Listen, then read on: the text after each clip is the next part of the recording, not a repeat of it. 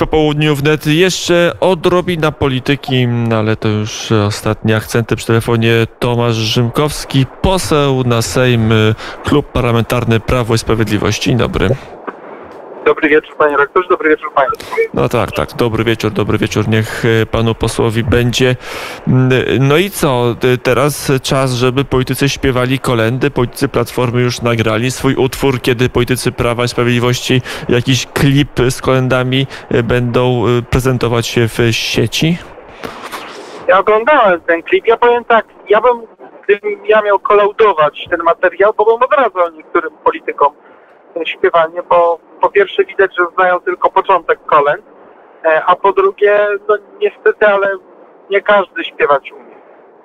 E, No ale śpiewać każdy może, zwłaszcza kolendy, e, jakby, jakby pan poseł naprawdę zaczął rozliczać Polaków, kto może, a kto nie może śpiewać, to byśmy zostali niemi na święta. Czyli ja, że pan redaktor może źle zrozumiał, jak wszystkich zachęcam do śpiewania kolęd. Ba, ja zachęcam do tego, żeby się nauczyć słów kolęd. E, Natomiast no, nie każdy może robić karierę muzyczną na scenie. Znam kilku polityków, którzy doskonale e, śpiewają, mają talenty artystyczne. No, daleko szukać był Kukiz. E, Tak, e, tutaj talentów nie da się odmówić. Zresztą chyba lepsze były te talenty wokalne niż e, talenty polityczne szefa czy przywódcy ruchu Kukiz 15. M, A właśnie, skoro przy Kukiz 15 jesteśmy i tak się złożyło, to czy pan poseł jako prawnik, jako były polityk tegoż ruchu Kukiz 15, a teraz poseł Prawa i Klubu Parlamentarnego Prawo i Sprawiedliwość śledzi te wszystkie elementy programowe, które być może staną się e, pro, pro, e, pr- punktami programu Prawa i Sprawiedliwości, jak chociażby e, sędziowie pokoju, czy ten wkład ideowy Pawła Kukiza w Prawo i Sprawiedliwość. Czy pan poseł śledzi, czy może pan stwierdzić, czy on jest, czy go nie ma? Rzeczywiście z nim się spotykam. Nie nazwałbym tego śledzeniem, bo to jakoś nie przykuwa w sposób nadzwyczajny mojej uwagi. Natomiast rzeczywiście tego typu elementy pojawiają się, chociażby dyskusja e, związana z wprowadzeniem sędziów pokoju. E, No i co się dzieje z tą instytucją? E, Gdzie ona jest? Gdzie się wykuwają e, koncepcje powołania sędziów pokoju? Znaczy te sygnały, które do mnie, do mnie docierają, świadczą o tym, że prace trwają przede wszystkim w kancelarii prezydenta i ten projekt będzie miał charakter projektu prezydenckiego. I tutaj słyszę ze strony i Pawła Kukiza i przedstawicieli kancelarii prezydenta, e, że te sprawy są już bardzo zaawansowane. E, No dobrze, bardzo zaawansowane. To jest e, piękne słowo polityczne, które nic nie znaczy. E, Mogą być bardzo Nie, no, zaawansowane bo ono przez. znaczy, nie, panie rektorze, to znaczy, że już jesteśmy na finiszu i dzielą nas dosłownie kilka tygodni od tego, jak ten projekt zostanie e, przedstawiony w parlamencie. Panie pośle, gdybym ja e, zliczył, ile razy mi e, e, przedstawiciele Ministerstwa Finansów mówili i na antenie Radia Wnet, i w innych miejscach, że już na finiszu mają projekt sędziów pokoju, e, to by nam czasu antenowego nie starczyło, bo musiałbym w nieskończoność wyliczać. No być może, ale mówimy tutaj o zupełnie jakby innej sytuacji. Czym innym jest funkcjonowanie Ministerstwa Finansów. Ja tutaj zawierzam słowa pana redaktora, bo sam nie mam takich doświadczeń, takich pytań nigdy nie, nie kierowałem. E, No a co innego, jeśli słyszę przedstawicieli Kancelarii Prezydenta. Czyli pan poseł bardziej ufa prezydentowi niż ministrowi sprawiedliwości. Ale wcześniej mówił pan o Ministerstwie Finansów. Nie, przepraszam, Ministerstwo Sprawiedliwości, oczywiście finansów to dlatego, że właśnie liczę, e, ile wydałem na święta i może to mnie tak e, skierowało w stronę Ministerstwa Finansów. Ale czyżby jakiegoś tam podatku pan e, redaktor nie odprowadził? Czy... Gdzie tam wszystko odprowadzam, bo to nie jest trudne. No nie, no VAT ja- płaci się Ja sam nawet.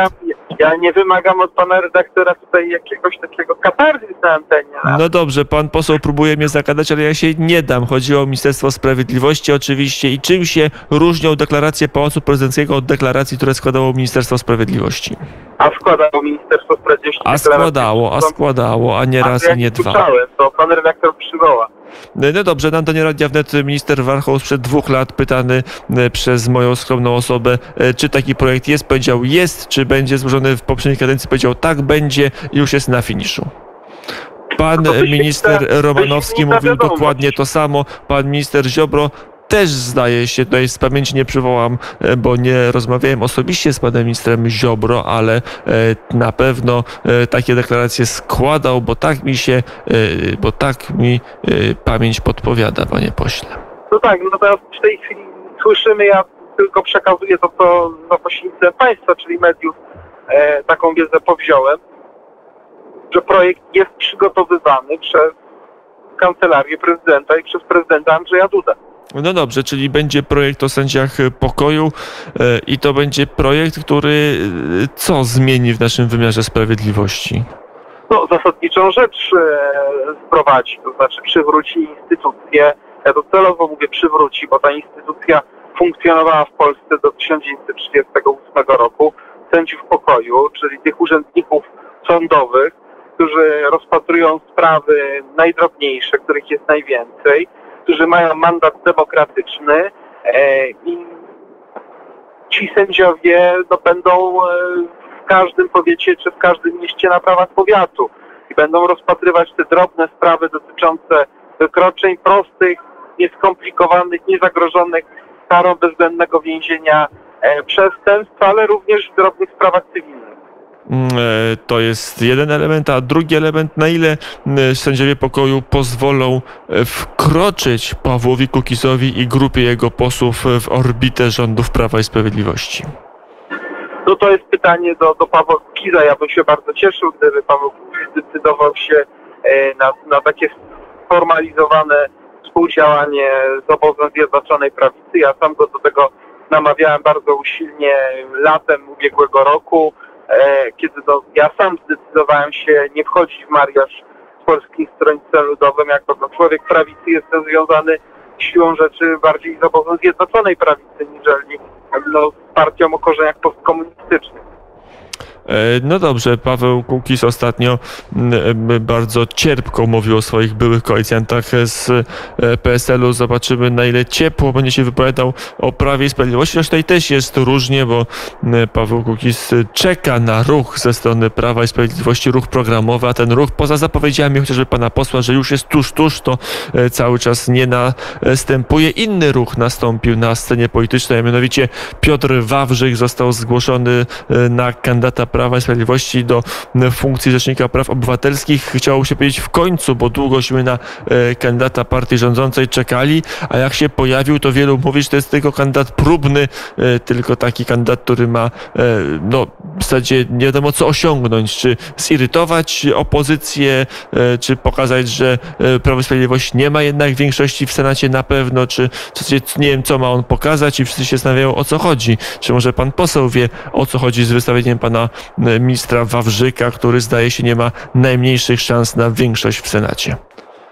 Ja nie będę tu polemizował z y, oceną sytuacji, którą przedstawił pan redaktor, bo moim zdaniem pan redaktor przedstawił rzeczywistość. Rzeczywiście no, nie mamy większości w Senacie, opozycja ma większość w Senacie. Jak wiemy doskonale, konstytucja przewiduje tryb wyboru poprzez większość sejmową i większość senacką. I w sytuacji, kiedy nie mamy większości w Senacie, no żadna kandydatura e, nieuzgodniona z klubami opozycyjnymi nie ma szans, ale my tą kandydaturą przede wszystkim chcemy, chcemy przeciąć te zarzuty, które od tygodni spotykają obóz Zjednoczonej Prawicy, że nie przedstawiamy kandydata na, na rzecznika. No czynimy zadość prośbą opozycji, wystawiamy kandydata i czekamy na życzliwy ruch ze strony e, ze strony A czy nie mądrzej by było zdaniem pana posła, żeby Prawo i Sprawiedliwość wystawiło kandydata, który ma szansę? Takim kandydatem e, byłby chociażby no, pan poseł Bartłomiej Wróblewski, o którym ciepło się wypowiadał e, senator PSL-u e, Jan Filip Libicki. No i to już mógłby być głos, który przeważyłby szale na rzecz pana posła Wróblewskiego, bo tu potrzeba tylko dwóch opozycyjnych szabel. Jedna już by była. To Pan poseł Bartłomiej Wróblewski jest moim bardzo serdecznym przyjacielem. Ja się bardzo bym cieszył, gdyby jego kandydatura była tą oficjalną kandydaturą. niestety tak się nie, nie stało. E, Ja oczywiście będę głosował jako e, członek klubu Prawa i Sprawiedliwości za kandydaturą pana posła ministra e, Piotra Wawrzyka. E, Natomiast no, w sytuacji, gdyby się to nie udało, ja bym bardzo liczył i oczekiwał, że pan poseł Wróblewski będzie kandydatem Zjednoczonej Prawicy, ale może i też innych e, ugrupowań, które mają reprezentację w Senacie, bo jest naprawdę wyśmienitym prawnikiem z olbrzymim dorobkiem w dziedzinie, którą zajmuje się również Rzecznik e, Praw Obywatelskich, czyli w zakresie e, ochrony praw człowieka. E, Ma bardzo daleko e, idące kontakty międzynarodowe, co również pracy no, ombudsmana naszego jest niezwykle potrzebne, ważne i traktowane jako e, atut. E, No i jest człowiekiem niezwykle, bym powiedział, e, sympatycznym, życzliwym. No ja mogę tylko i wyłącznie same pozytywy na temat pana posła Wróblewskiego, tak jak pan redaktor e, doskonale wie, bo już nieraz rozmawialiśmy o, o moim koledze Sław Ale to Poselski. właśnie dlaczego to mnie intryguje? Czy e, dlaczego, Dlaczego Bartłomiej Wróblewski, który przynosi PiSowi w posagu przynajmniej jedną, a niektórzy mówią, że dwie szable w Senacie, czyli przynosi większość w Senacie, e, nie został zgłoszony. Co to za logika polityczna, panie pośle? Nie wiem, panie redaktorze.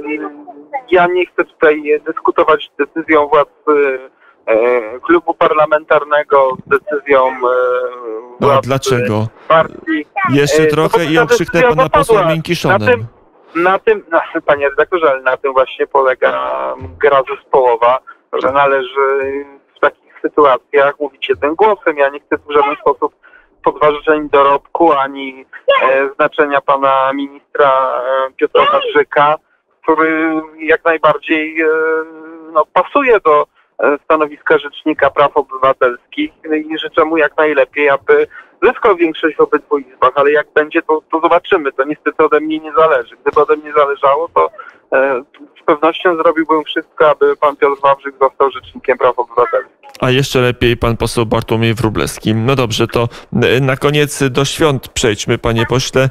Y, Na ile jest tak, że obóz rządzący liczy, że po świętach będzie lepiej, że te święta, okres wyciszenia, także okres no, takich pewnych religijnych przeżyć pozwoli na to, aby konserwatywna partia w Polsce, czyli jaką jest Prawo i Sprawiedliwość, złapała chociaż chwilę oddechu? No i na to y, y, świąteczne pytanie y, chyba odpowiedzi nie znajdziemy, bo pan poseł znikł w przestworzach telekomunikacji. Nie jest to rzecz znowuż tak bardzo dziwna, jak w dzisiejszym poranku wnet, gdzie znikł głos redaktora Jana Bogatko, zaczął się odtwarzać na nowo. Tutaj mieliśmy jasność, bo to chodziło o trasę i na wiadukty na, na autostradach w Polsce, które czasami mogą przerwać nadawanie i tego e, ja byłem świadom, nie jestem zask- zaskoczony, co Państwu udowodnię tym, że e, mamy już przygotowaną piosenkę na taką ewentualność, a e, zaraz potem wrócimy do studia popołudnia wnet.